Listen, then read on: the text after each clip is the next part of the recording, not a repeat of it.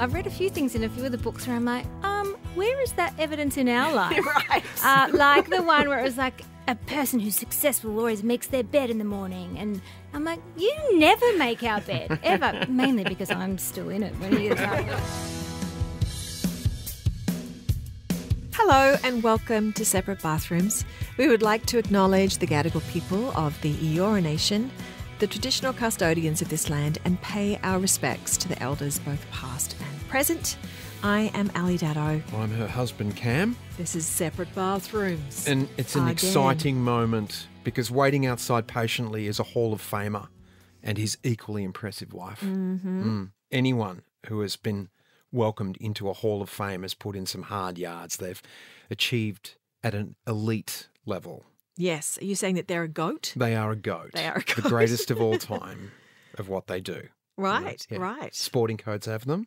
Music, acting, Hall of Fames. Here in Australia, we also have the Prospectors and Mining Hall of Fame.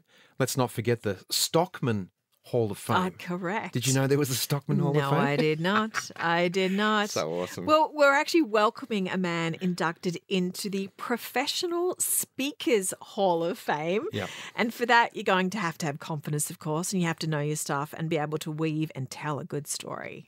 Michael McQueen is a trends forecaster, a change strategist, and yes, an award winning conference speaker. Yep. He features regularly on TV and radio as a commentator and is a best selling author of 10 books.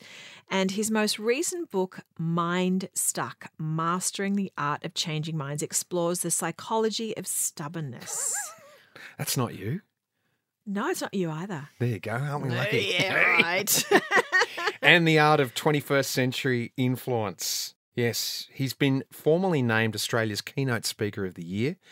Michael has been inducted, as we've been speaking about, into the Professional Speakers Hall of Fame. And Hailey has his wife, his gorgeous wife, has worked in a number of roles from acting across the stage and screen to working as a producer and director for independent shows across Sydney. She's also co founder and artistic director of Clock and Spiel mm-hmm. Productions. Hmm. She also lectures in the drama department of Excelsia College for the past 15 years, saying it's a privilege to work alongside the students, advocating for them as unique artists and encouraging them in their creative mm. endeavours. They are parents to one gorgeous boy. Indeed. And his name is? Maxwell. Hello, Max. Max for short. There's certainly a lot that we can learn from Hailey and Michael McQueen. So let's get them in the bathroom.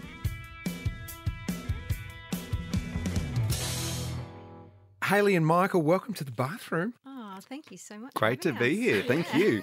It's cozy in here. nice to have you here in person as well. We love it when we have them in the actual bathroom. with Yes. us. now we are a relationship. I was going to say, as you said the other day, a love podcast, mm, which I I really did like call that. a love podcast. I did, and it was like, it was great. It was like, oh yeah, it is. it's a love podcast. How did you two meet? Do you want me to lead? Yeah, I you can. go. Well, I'll take the lead. So we met through friends, like the classic, like my best mate and Hailey's best friend were friends and dating. Ended up getting married, but right back in the start, we met through friends. So I moved to Sydney from Wollongong, and when mm. I came here, I knew no one much in Sydney except my best mate and his group of friends. Part of that group was Hailey, so we met just as a group hanging out, and it took a while. I think you were dating someone else at the time. Yes, the first time I met Michael, I was going out on a date with someone else. So, Yeah. like, he Oh. came to our apartment and to visit his friend, and um, you know, I met him on my way out, basically. And, Temporary um, boyfriend. Temporary boyfriend. Yeah, that's right. he who So, shall not be named ever The again. future ex. yeah, That's right. yeah, yeah. yeah.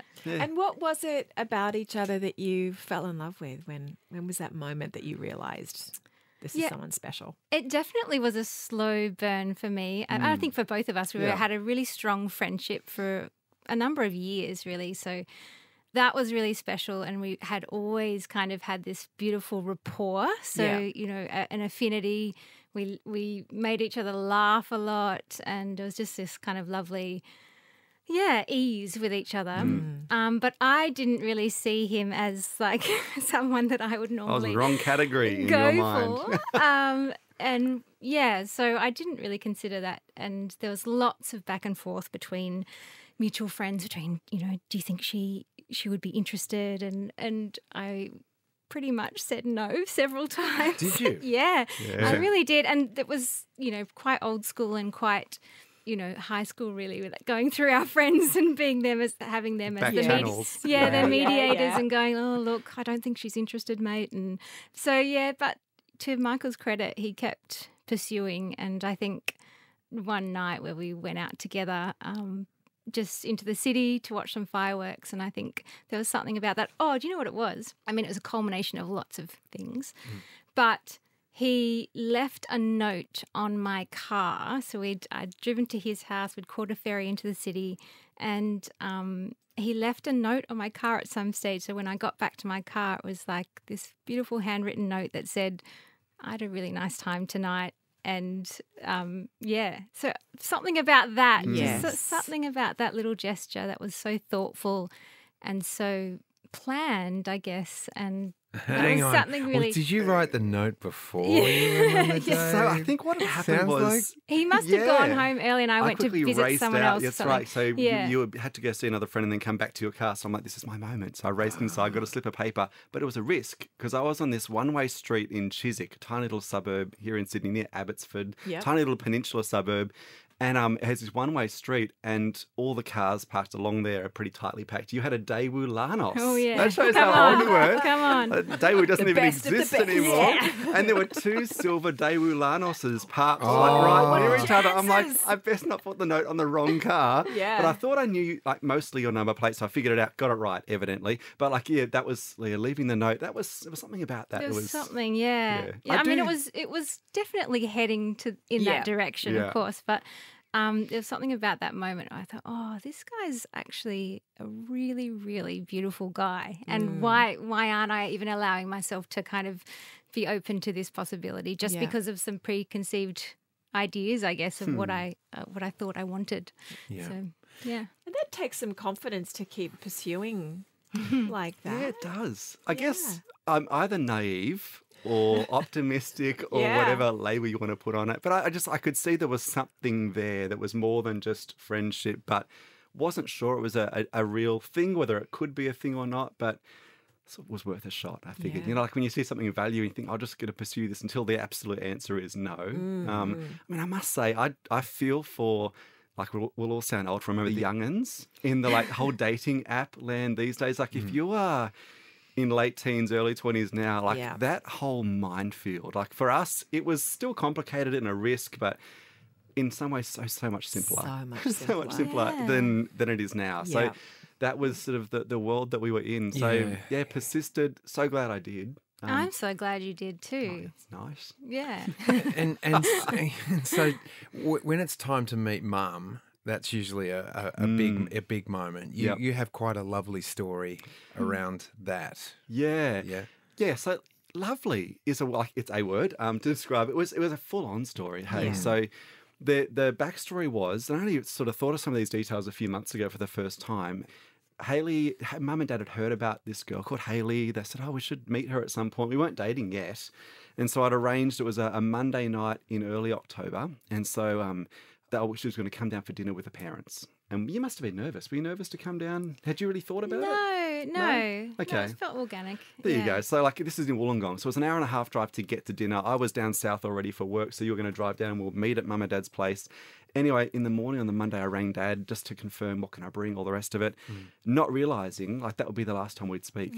So it was um, it would have been about nine o'clock. I spoke to him in the morning to confirm details for the night. About ten thirty, um, mum and one of my brothers found him collapsed. I'm pretty much gone. Like he'd had a heart attack. They called the ambulance. By the time the ambulance got there, there was nothing they could do. And he was young, right? Like yeah, fifty one. yeah, crazy. Yeah, so it was just out of the blue, one of those crazy things. So obviously dinner was cancelled. Like even for us, like it got a bit funny for a few weeks there, where I was like in grief mode, trying to support mum and all of that. So what it meant is that you came to the funeral on the Friday. So mm. Hailey, like we weren't dating any of the rest of it. So you met my mum, all my family, at the funeral and at the wake, and so. And that was probably the special thing. Like, I'm like, if you stuck around through that, because it was just sure. so full on. So my dad was a school teacher and really dearly loved. So his funeral was this monster of an affair, like eight or nine hundred mm. people, like packed auditorium at a church, and the like this was a big environment for you to step into as the the random, and you had to get off work and sort of tell your Yeah, boss, "I'm going to go to a funeral." Mm. Strangely, for a friend. Yeah, I had to kind of because we weren't anything official. It was a mm. weird request for me, and it was a big deal. I was teaching, and so you know, I said to my boss at the time, "Look, I don't know why, but I think this is really important." Mm. And so, mm-hmm. yeah, thankfully they were really understanding, and and I did go down. And but the whole time I was thinking, I I don't know if I is this okay that I'm here and Yeah. um, yeah, but uh, look, I'm so glad I did too because that's where I did, in some way, meet your dad and you know get to know him, and that's you know the most I've kind of learnt about him was from that funeral. Yeah. So Yeah. Yeah. And I and I say when I said a lovely story, Yeah. and I mean that I I actually meant it in a way that it was based in love. Yeah. Yeah. Yeah. You know, based on what you've you just said Yeah. then, you kind of validated it by just it was a that was that's a watershed moment It was. in your Yeah. life, Yeah, definitely. and for you to be present yeah, in that moment Yeah. as well, uh, and to have that as a memory uh, in, And in a memory your for your mum relationship. as well. Correct. Yeah. all of you. The ripple effect around that. Yeah. Yeah. And I sometimes thought, I mean, at the time, I was like, I can't believe you were like five hours off meeting my dad.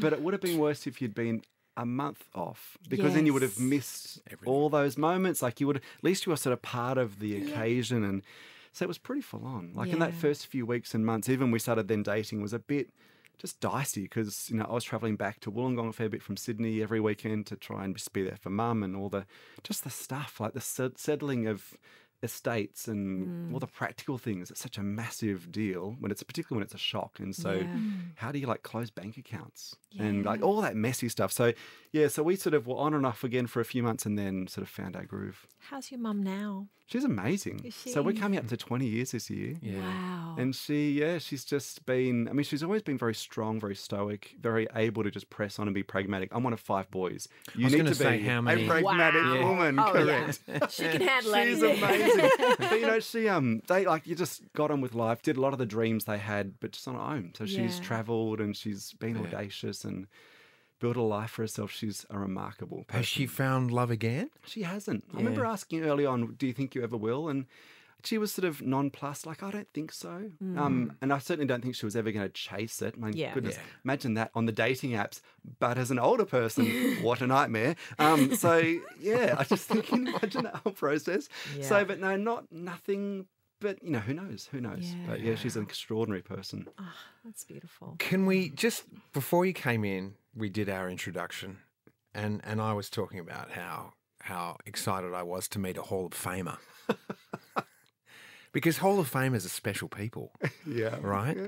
And and here you are, you are in the Professional Speakers Hall of Fame. Who knew there was one? Most people would never clue. I didn't Yeah. until yesterday. I I was also- like, what? And I said to There Ken, you like, go. there's a Hall of Fame for Yeah, I also speakers. I also didn't know there's there's a Stockman's Hall of Fame There as well. you go. Well, that's Yeah. the next goal. Yeah, yeah.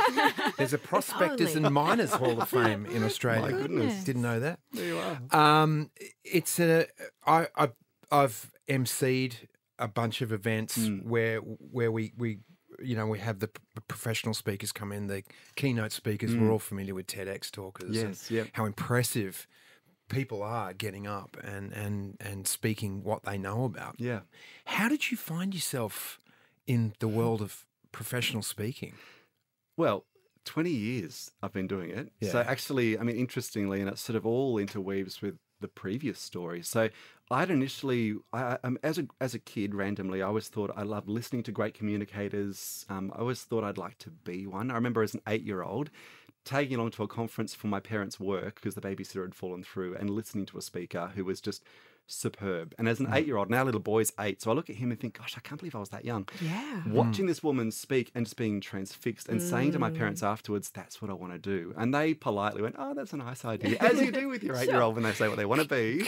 Do you remember what she was talking about? She spoke about, yes, um, like temperament, personality styles, and and so and she was mm-hmm. just hilarious. She talked about, you know, her and her husband were such different personalities, and so she, a lot of that was sort of that bounce Okay. off. So she was just very practical, very relational, but yeah, really great communicator. So she held an entire room for a whole hour, I think Yeah. it was. So, wow. so that from age eight, I was sort of like, how do you do that? I met a few people while I was at uni who were doing it full time on the conference circuit. So I got a bit of mentoring, and they said you've got to find something you can be the expert in. And I was 22, so you can't be much of an expert at anything really when you're 22, except being young. Yeah. And so I thought, well, maybe being young is an asset if I maybe specialize in the whole generation gap theme. So there was a lot of people talking about Gen Y versus Gen X and baby boomers, not very many young people speaking about that as a topic. So I'm like, mm. maybe that could be the thing I focus on. So I did this body of work basically around generational differences, showed it to my dad, who was a careers advisor at a school, and he said, you know, this is really interesting, this manuscript for this book because we're getting funded to do stuff in schools to help kids prepare for the world after school, you could put together like a program of stuff and speak in schools. That'd be a good way to cut your teeth and get started. So, Wow. all he'd done is he sent an email to this woman who headed up the Careers Advisors Association um, in New South Wales and saying, "This is my son. He's written this this book or this manuscript about generational change. Might be cool to do some stuff in schools. Could you maybe just have a chat with him?" So he'd sent that. And think about timing here. He sent that on the Wednesday or the Thursday before he passed away. I know, like this is like a pretty full on time. When I think back, so many little things like line up and clicked in at this point. So post funeral, remember looking at that email sitting in my inbox because he'd, he'd CC'd me and thinking, like he, he at least he made the intro. I should follow this up just to honor him, I guess. Had that meeting, a woman named Lynn Camp, bless her. She was so encouraging. I mm. couldn't be more helpful. Helped me sort of figure out how to put together some programs, market that to schools, and that's how I started. So I spent three or four years working in schools around Australia and then beyond, particularly helping young kids understand the real world. Like, what's what's your boss going to be like? How do you play the game, get on at work, flourish in the workplace when you leave school? All the stuff they don't teach you at school, the practical sort of life and work skill stuff. And then the scope broadened to look at not just generational change, but then societal trends, technology trends, and then the most recent research has been around why people don't change even when the world's changing around Yeah. them. So that's 10 books over 20 years. Sort of that's been the general trajectory over that time. So it started off, yeah, fairly simply. Wow. Yeah. And and you sort of you've spent the last 20 years doing so much research as well, Yeah, haven't you? it. Because based on the books that you've written as well, there's so much research based in Mm. Yeah. that. But is that something that you've always loved as a kid as well? Like diving Oh, into no, that not at all. I can't stand it. So no, I well, I do it because I need to. I sort of Okay, feel like, particularly like the most recent book is a deep dive into neuroscience and behavioral psychology, and I'm neither a neuroscientist or a behavioral psychologist. So, I, and I never want to present to be something I'm not. So it's like I need to really get my head around what's what's being said that's you know verified and valid and helpful and then what can i add that's new. So that just means reading widely. Like i'll never wander into a new area I guess with that arrogant assumption that I've read I read two books, I'm set. You know, like now I'm going to speak into this myself. So, like this last book was almost nine years from go to woe in terms of the research and stuff. Um, that's long. Most books I'll churn out in about 18 months. Yeah. But even still, I'll read really widely um, and then interview experts in the field as part of that process. So I, I just want to feel like a fraud. I think that's the biggest thing. And because Your last book, you talk about Mind Struck. mind stuck. Yeah. Oh, Mind Stuck. Sorry. Yeah. Yeah. Yeah. Yeah. Yeah. Okay. That's the next book, is Mind Struck. yes. there you go. I'm Prophetically. kidding. Honey, I like it though. I'm like, That's "Gee, that's good. There you, go. That's it. Struck. Yep. it's about creativity. There you go. Struck gold. I'll just take 10% of the profits on that one.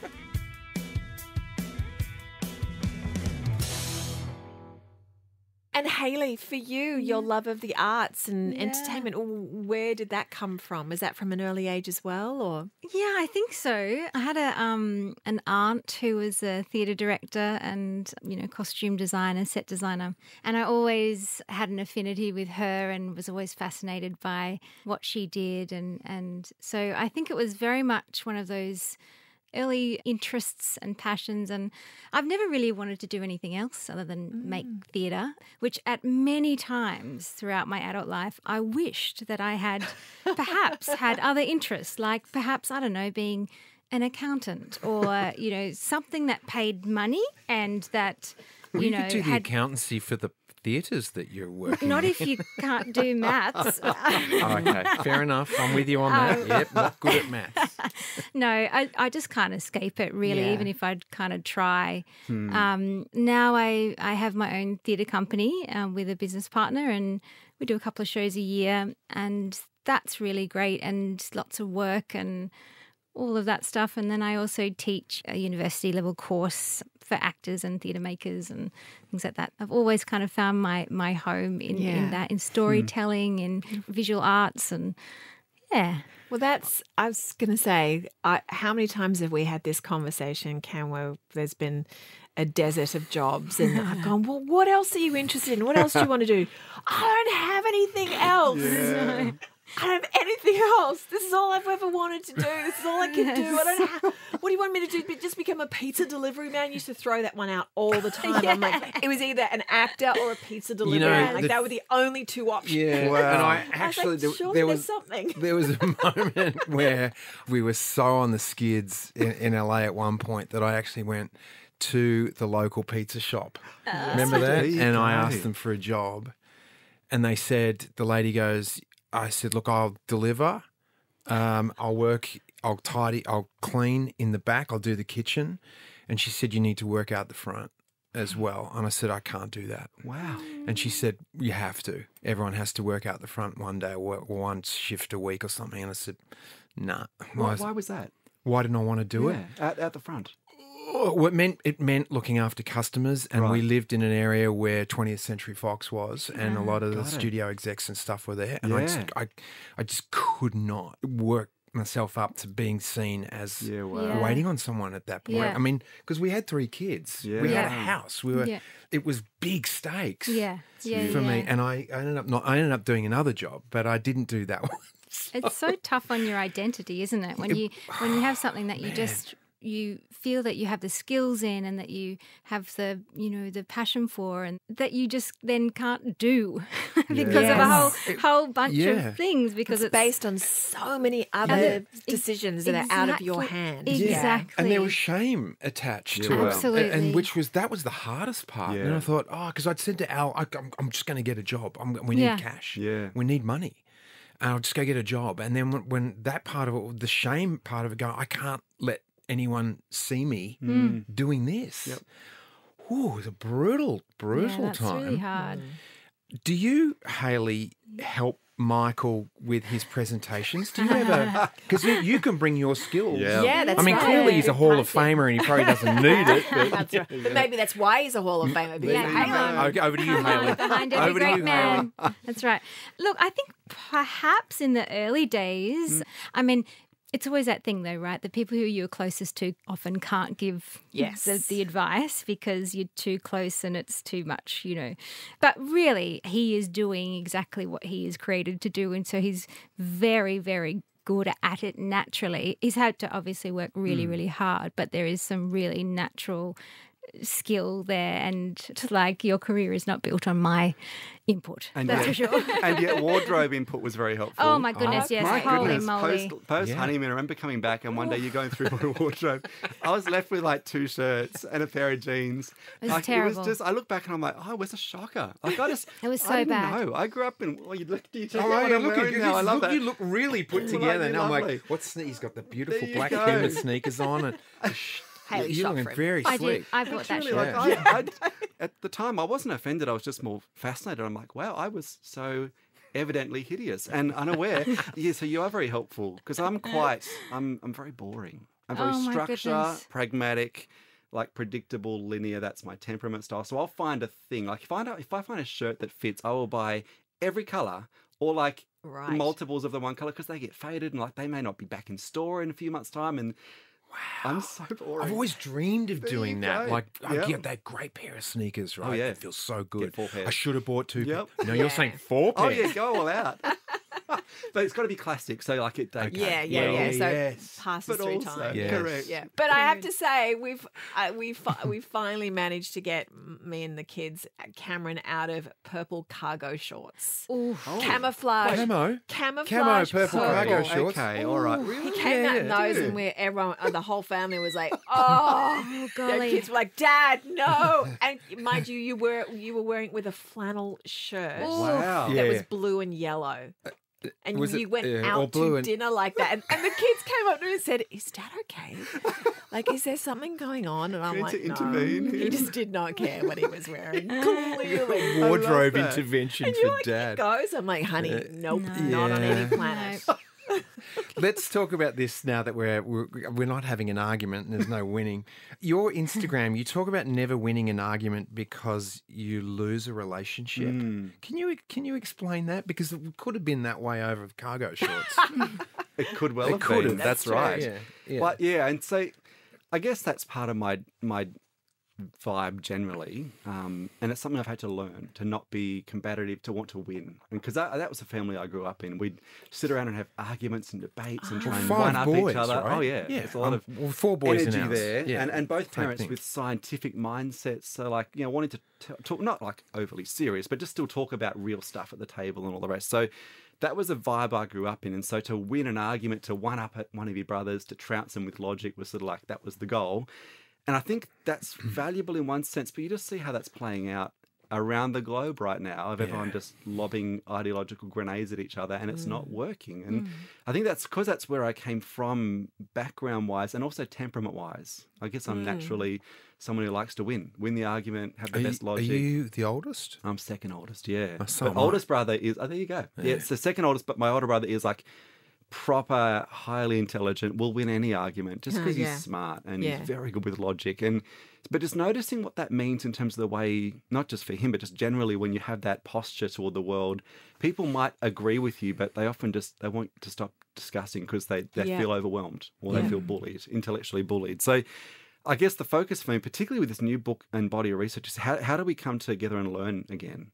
Like changing other people's minds, having influence that's going to be constructive requires people being willing to listen, to learn, to actually be willing to meet in the middle. And if you look historically over the centuries, we've done that really well. That's what debate always was. Mm-hmm. And yet something about the last couple of centuries is become very much you know, post-enlightenment era is very much bring your best logic to the table, trounce the other person with reason, rational thought the, re- the reality is, and we've discovered this in the last five to 10 years, is that that just doesn't work. And the more rational evidence you bring to any conversation, the harder you push, the more people dig their heels in. Even if deep down they know what you're saying is true, if they don't have agency in the process and feel they can actually change their mind because they decided to, hmm. then they'll actually cross their arms and not change their mind at all. So that's, yeah, that's been a real learning for me. So, how do you mm. have that very humble posture toward other people, other ideas? Because that's how you have constructive conversations. Mm. And how has that worked as a couple? Have you applied that? Mm. Well, it, it's interesting. Not 'cause very well. the reason I the reason I pause is because like we're so different. Because you're quite you're a peacemaker. Yes. So on the Enneagram scale, if you heard of the Enneagram Yeah. scale, so you're like the quintessential peacemaker, and um, I, I don't know what the other one is. The one that I'm, I'm number three, I think, or whatever yeah, it is. achiever or Yeah, challenger. so the challenger. So I'm like always challenging, whereas you're like trying to keep peace. So the funny thing is, I've got to be super mindful that Hailey's silence or happy to just go with things doesn't mean that she agrees, but just means the conversation is just it's not worth having. It's not worth having a debate or a, Yeah. a point of conflict. So like for me, mm. the big thing is listening. I had this great hmm. thing I read recently from Oscar hmm. Trimboli. I don't know if you've heard of him. He's got a great book on listening, and he said, "Never forget that I'm listening. The word listen and silent are made up of the same letters." And like, and like, I thought that's, I'd never thought of that. I'm like, that is so fundamentally true and actually really profound. Like, Yeah.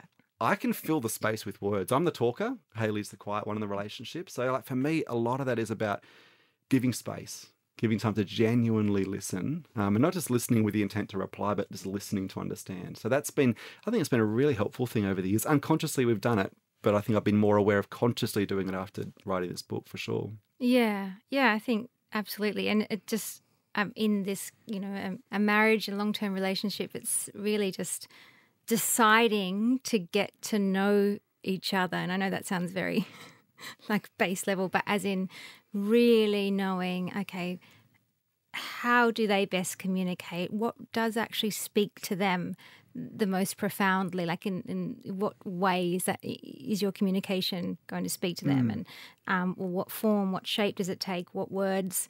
What do they need to to feel like they're being listened to, and that their opinion is kind of um, heard and processed, and um, because it is so different. We're all we're are all different, and we're all different at all different times. Yeah. That's right. So it's ever changing Yeah. as well. Yeah. Throw in some, um, you know, hormones in there, and it's like gets crazy. So I think it's just really deciding to to learn the other person, and being willing to to shift yourself and and um, which is really hard. I'm a really stubborn person.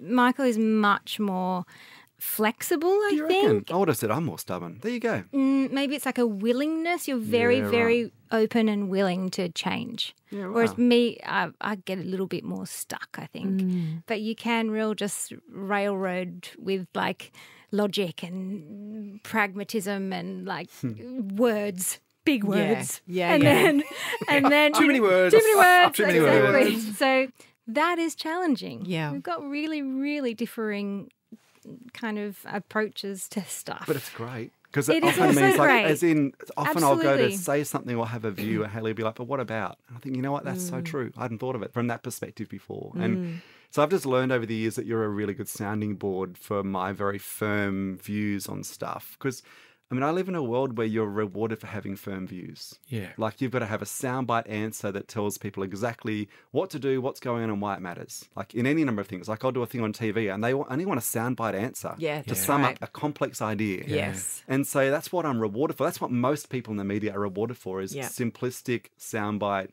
superficial answers that just are palatable. It's And kind, so- it's kind of analysis, isn't it? It's a very short analysis of something that we can Mm. walk Correct. away with. yeah. And the so I've got to- elevator pitch. Yeah. Correct. And we're sort of we're instructed to do that marketing wise, but we appro- often approach so much of life like that. And I can fall into that trap.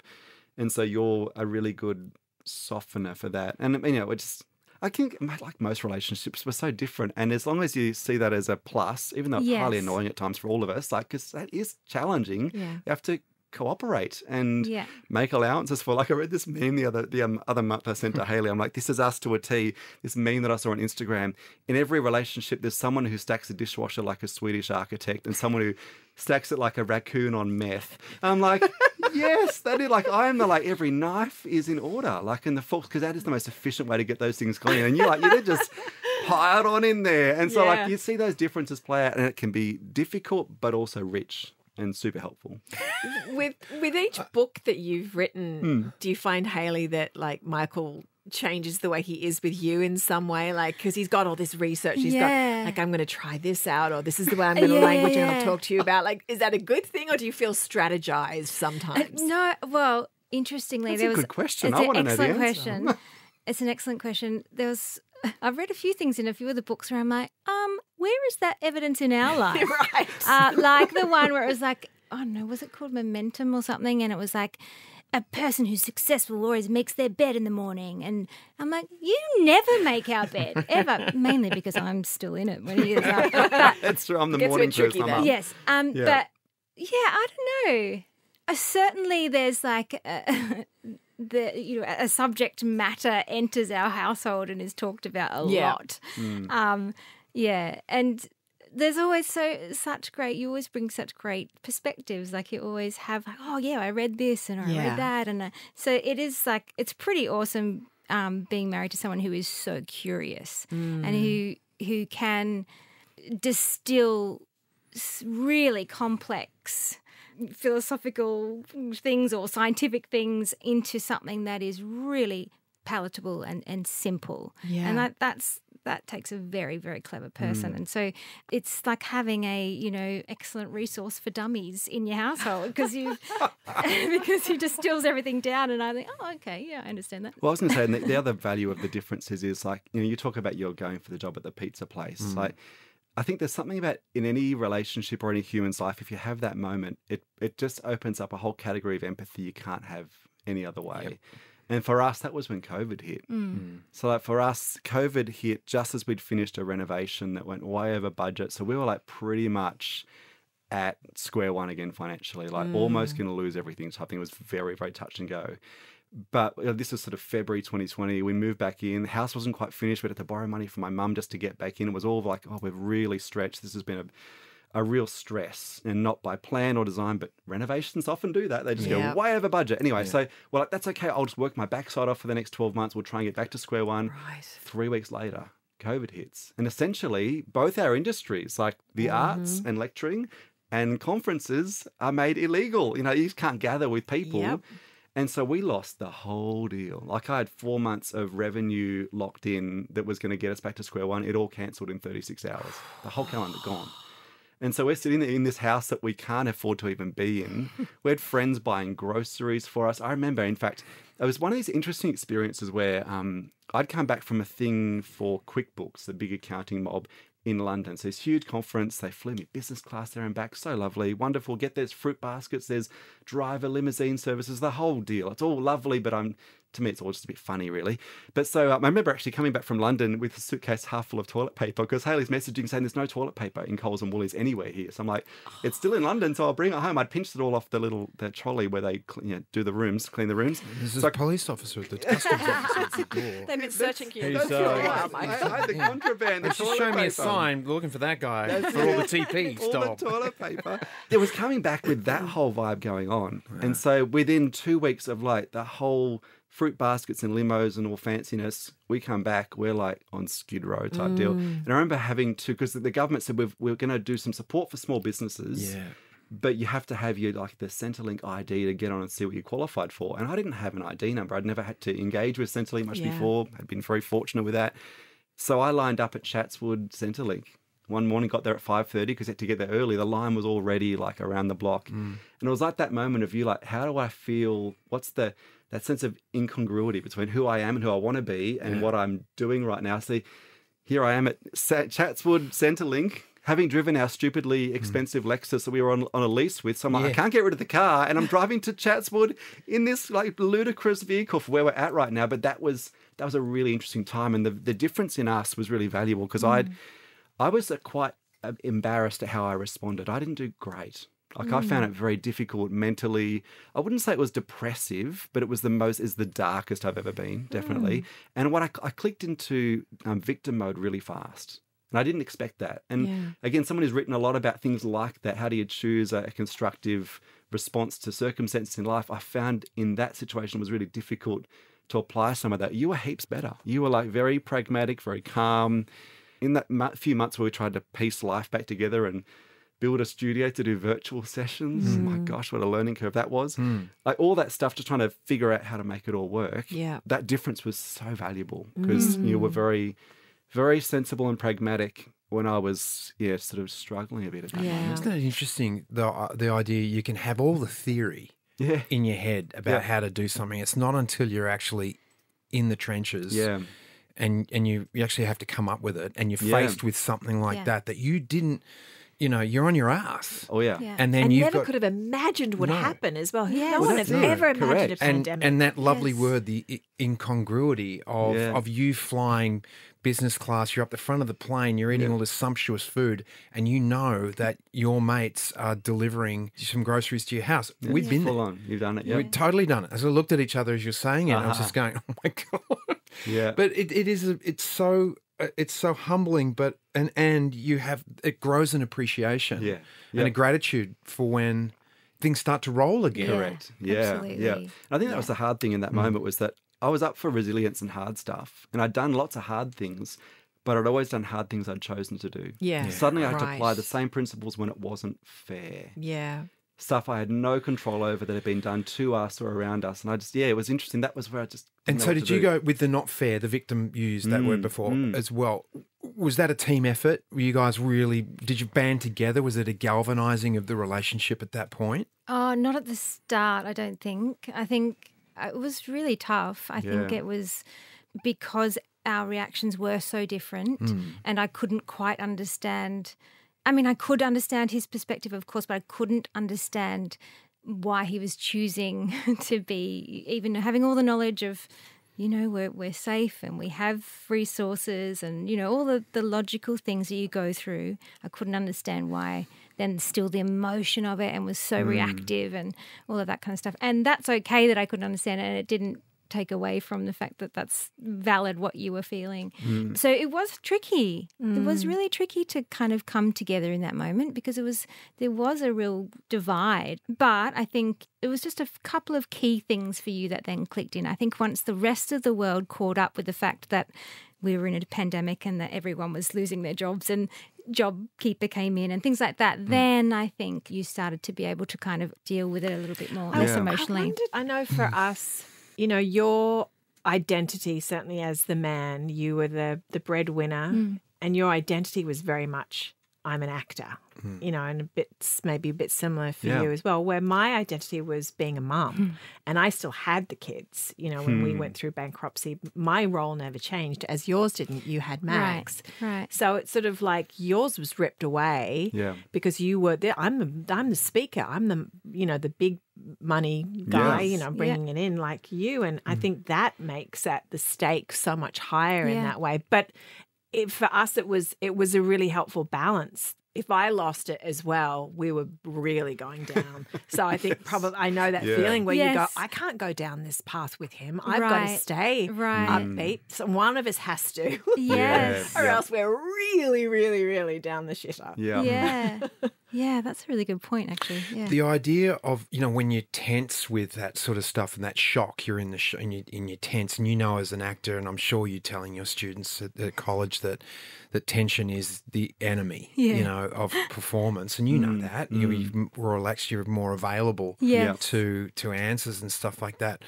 Where does breathing fit in to you hmm. guys in that way of becoming more accepting of what's happening? Yeah. Oh, great question.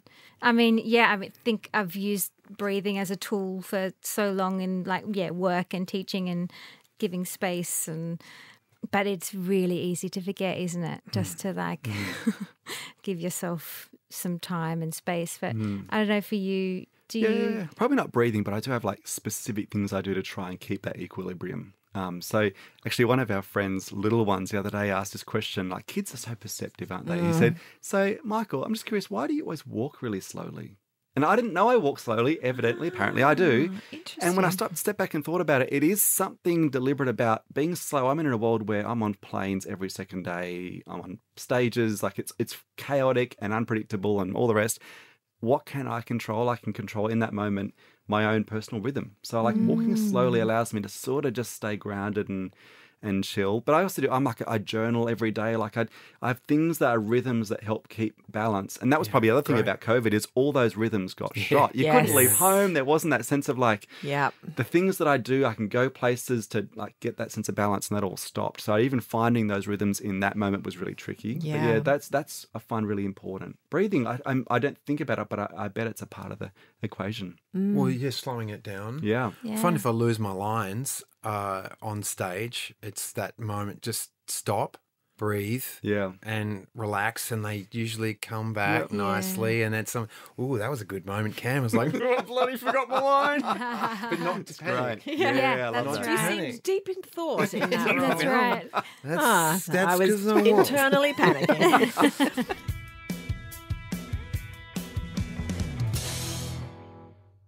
You've been on stage or shared the stage with some incredible people. Hmm. Is there one person that you met that still stays with you as an incredible speaker that you've taken inspiration from or anything like that? I reckon one of the people that I really enjoyed speaking on stage with most was Steve Wozniak. Oh, yeah. Oh, so Apple's co-founder, yeah.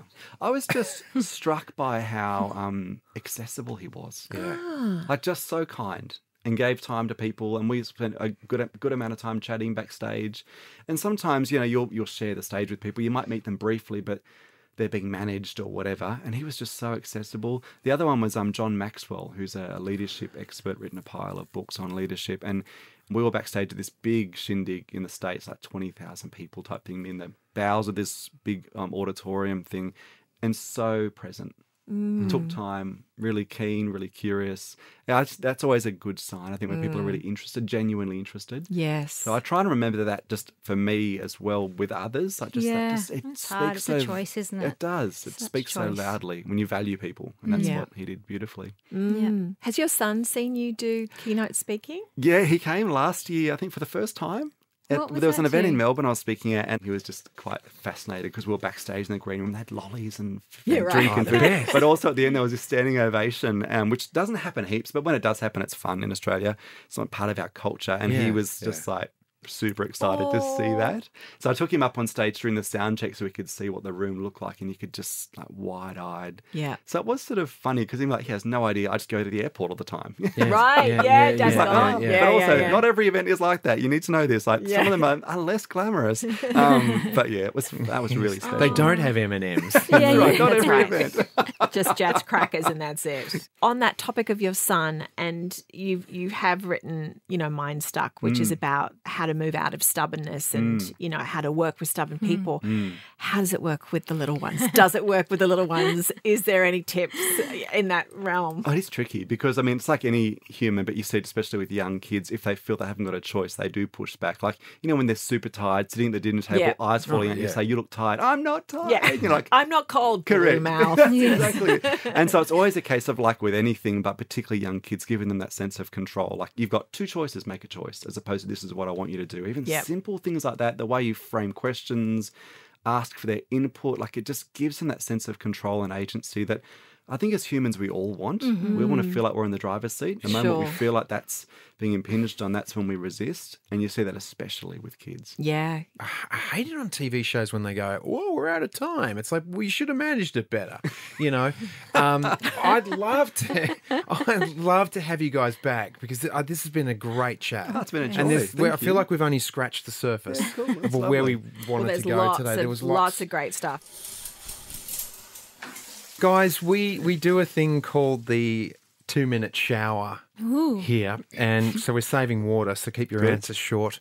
Just um, both answer the question, Okay. please. Okay, here we go. First question: What habit does your partner have that you find adorable? Oh, adorable. I know, easy to We're- do, annoying, Oh, but we go adorable. okay, adorable. I'm going to reframe the adorableness. He is like the washing. I don't know if I can call him the washing Nazi. Can I say that? Yes. Um, How about the yeah, washing king? King. That's much better. washing Thank you so much. The washing Yeah, king. because I'm the washing king in our house. I Great. reckon. He Yeah, yeah. is like absolutely obsessed with um like when would be the best time of this day to bring out like to do the washing and the washing is done every single day. Sometimes I'm wearing things that get ripped off my body because he thinks, No, no, I'm doing it I'm doing a load of darks, will that be I'm like, I'm wearing it now. give it to me now. Give it to me now. yes. Right. Um but Okay. it's adorable because it's useful. I There you go. There you go. Um, Hailey does voices and like gets full method acting with our little one. So you'll race around the house being characters, which is, I mean, I find it sometimes frustrating when it's like, it's time to go to school. We must get out of character to put shoes on and get out the door. But like, it's very sweet. And like, you two are very similar like that. You're peas in a pod. It's very sweet. If you could relive one day with each other, what would it be? Ooh. Oh, oh, there's been so many good ones. So many good ones. Yeah. I think it would have to be one of our like travel adventures. Yeah, so same. like Positano or like Yeah. Austria, like riding bikes through that beautiful woods in Canada. that's or cool. um, we've been very, very lucky to do lots of beautiful, Mm, beautiful. And this is because the Hall Adventures. of Famer speaker gets to go Exactly. all around the world. Not world. because I make theatre. Let's just say that. well, yes, and also, and this probably it'd be good to unpack. Had we if we had time, we travelled heaps because we it took forever to have kids, like years of the whole IVF caper. So we were like, let's Oh. not wait and delay life until, like 'cause you can so easily do that. We're like, let's just see advent, like have adventures while we wait. Yeah. So we did. We really prioritized that. So we did travel heaps before kids, which is great because after kids is highly annoying with you know travel. Anyway, so. Um, I would say Bad Gastein, tiny town up in the mountains in Austria. We went. This is what I'd live again. We went on a, a, a horse-drawn Sleigh. sleigh at night through the snow. I know it's Oh. wild, and like the the, the bells jingling and Yeah, the we whole were drinking vibe. schnapps in the Ah. back. That was pretty cool. The Because it was family singers were It walking was Yeah. past you singing. vibe. It was was- really, I would really like to relive that with you It guys. was Oh, well. it was wild. awesome. Yeah. Very cool. All right, um, Hailey, I would like you to answer this one in your f- in your favourite voice that you Oh, do. no, no, don't put No, her no. on I the don't- spot. What? No, you're not a seal. Like I, I'm not a performer. Okay, what is it about your relationship that makes you feel grateful? Oh my goodness. Th- There's so many, obviously. I think having someone that you can trust absolutely that and knowing deep like in the deepest parts of you that they have your best interest at heart. I think hmm. that's Love it. Yeah. Laughter, fun. Like you've got a great sense of humour. And yeah, we match well with that, which I just love. Yeah, beautiful. Last question. One word to describe each other. Oh, look, there's probably much more kind of like romantic and sexy words, but I'm going to say productive. Productive. This man is a machine. Yeah. Wow. Yeah. Right on. Um, creative, like just yeah, original, free spirited, in the, all the best ways. What a great team. That is Yeah, good. what a great creative, and productive. I think, Yin I think- I think we, I think we sometimes have a little bit of that dynamic going, productive creativity sometimes. Yeah. Great. Uh, Michael and Hailey, thanks so much for joining us. We're going to put in our show notes Mm-hmm. all about Mindstuck with the sequel Mind Struck coming out. What's this? That's space? Watch right. this space. Uh, but thanks so much for joining us Pleasure. today. It's been Thanks lovely. so much. Thank Yeah, you. thanks for your time. Ah, there was so much more I wanted to talk about because that book that he's his last book, Mastering the Art of Changing Minds. It sounds a bit about voodoo hoodoo. It's not. It's just a it's through his research and talking to psychologists and it's really interesting and hmm. he, on his Instagram he gives you like a couple little tips and stuff about how to work with people and Okay. yeah, well, we better we better put Michael's Instagram up on our in, Of on- on- course. in the show notes Yeah, so people you can... can. check him out. I think he's got a website as Well, well. I'm sure he does. You can go see one of Hailey's productions. Yeah, I, I look when I saw that, you know, changing people's minds. I'm like, mm, are we supposed to be doing that? Are we supposed to be changing, trying to change people?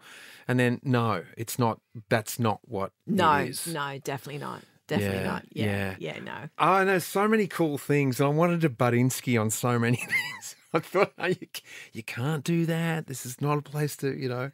But uh, I love their analogy about the analogy about the dishwasher.